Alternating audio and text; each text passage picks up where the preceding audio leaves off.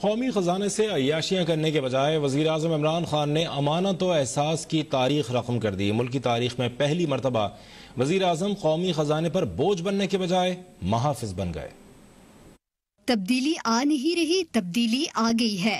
वज़ीर आज़म इमरान खान ने कौमी खजाने की नगेबानी का कल्चर, हुकूमत के तमाम इदारों तक फैला दिया। तमाम वजारतों को इंतजामी अखराज कम करने और रकूम बचा कर कौमी खजाने में वापस करने की खसूसी हदायत दी गई सरकारी गाड़ियों के बड़े बड़े काफिले खत्म किए गए। वजारतों में मेहमानदारी के लिए रकूम की तरसील खत्म कर दी। वज़ीर अजम ने एक एक पाई गरीबों की देखभाल पर खर्च करने की अमली मिसाल कायम की। वज़ीर अजम अपनी रिहाइश गाह के तमाम अखराज अपनी जेब ऐसी अदा करते हैं।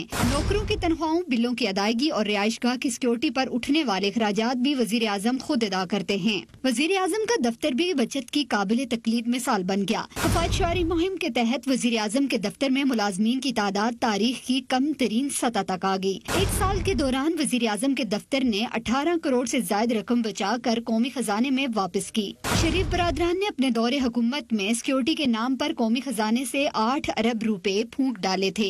मुल्क की तारीख में पहली मरतबा अपने दफ्तर के अलावा वज़ीर अजम का एक भी कैंप ऑफ़िस मौजूद नहीं।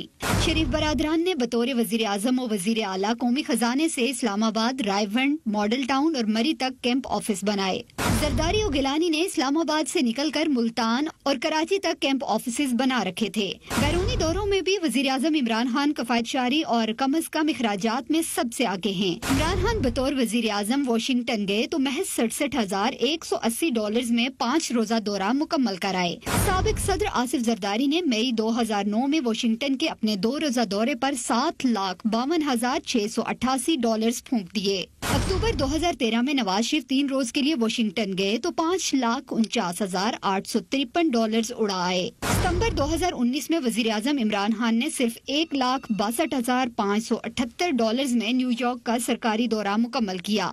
आसिफ जरदारी ने तेरह लाख नौ हज़ार छह सौ बीस, नवाज़ शरीफ ने ग्यारह लाख तेरह हज़ार एक सौ बयालीस, जबकि शाहिद खकान अब्बासी ने सात लाख पाँच हज़ार उन्नीस डॉलर अपने अपने दौरा न्यूयॉर्क पर उड़ाए।